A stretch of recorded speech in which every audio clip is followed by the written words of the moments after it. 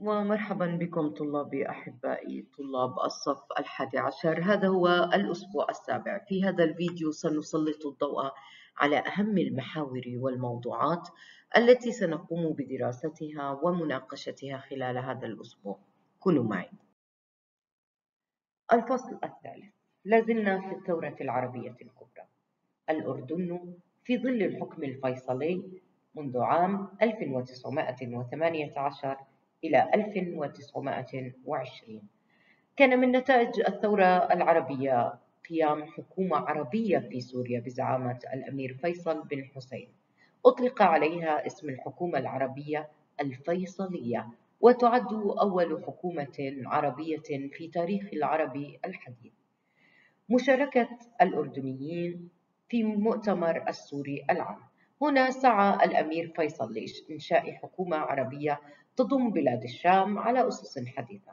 ومن أجل هذه الغاية عقد المؤتمر السوري الأول عام 1919 الذي انتخب أعضاؤه من بلاد الشام كلها وشارك فيه عشرة مندوبين من الزعامات العشائرية في الأردن.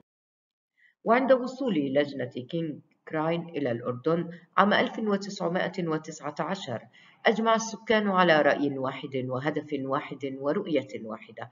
تتمثل في استقلال بلاد الشام ورفض وعد بلفور وتجزئة البلاد العربية ووقف الهجرة الصهيونية ورفض انتقال الأراضي للصهاينة في فلسطين. ولما أدرك زعماء المنطقة المؤامرات الاستعمارية قرروا وضع دول الحلفاء أمام الأمر الواقع فعقد المؤتمر السوري العام الثاني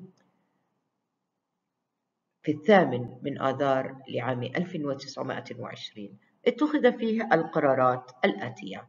مبايعة الأمير فيصل ملكا دستوريا على بلاد الشام سوريا والأردن ولبنان وفلسطين. المطالبة باستقلال بلاد الشام بما فيها فلسطين بحدودها الطبيعية استقلالا تاما. تشكيل حكومة ملكية مدنية مسؤولة أمام مجلس نيابي منتخب. رفض الادعاءات الصهيونية في فلسطين.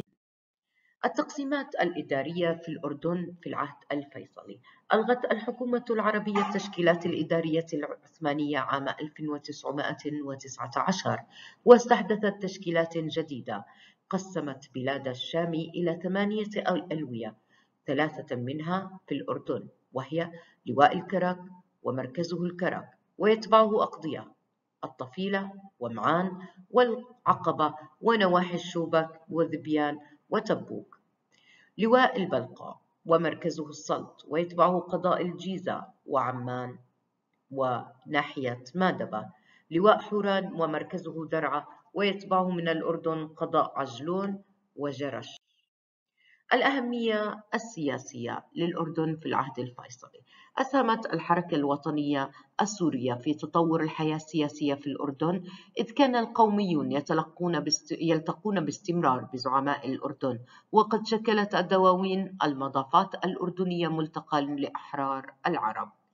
وكان لهذه المضافات دور مهم فقد كانت وسيلة لتثقيف النشء عن طريق سرد القصص التاريخية القديمة مكان لتناقل الأخبار التحركات السياسية الإعلان عن الأحداث الكبيرة مكان للمناسبات العامة وملتقى التجمع والسمر كان الأردنيون على قدر من الوعي في إدراك الخطر الداهم الذي شهدته فلسطين نتيجة لسياسة بريطانيا الاستعمارية في بلاد الشام.